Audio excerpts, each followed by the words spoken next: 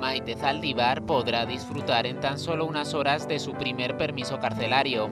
El juez de vigilancia penitenciaria ha autorizado a la exmujer de Julián Muñoz su primera salida de prisión. Se trata del primer permiso ordinario que se le concede a Maite Zaldívar, una salida que le permitirá disfrutar de los suyos durante seis días. La exmujer del exalcalde de Marbella entró en prisión hace justo un año. El 27 de octubre de 2014, Maite Zaldívar ingresaba en la cárcel malagueña de Alaurín de la Torre para cumplir su condena de dos años y medio por blanqueo de capitales. Como señala Vanitatis, aunque se le han concedido seis días de libertad, Maite no tendrá que volver a prisión hasta pasadas dos semanas, ya que acumula un permiso anterior que no aceptó para evitar el revuelo mediático.